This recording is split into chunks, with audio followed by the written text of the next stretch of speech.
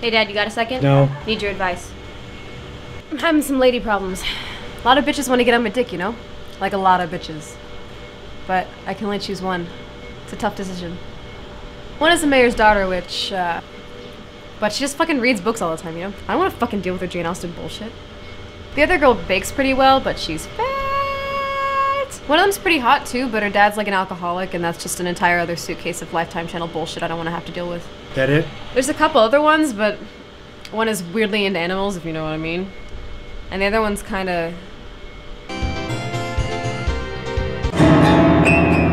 creepy. All of them want your dick? All of them want my dick. Hmm. What would you do? All of them, probably. I don't think you can. Maybe you can't, but I would do them all. Honeys can't resist when I spit game.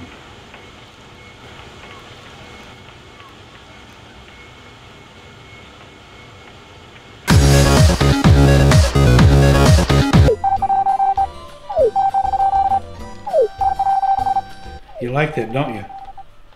You little slut.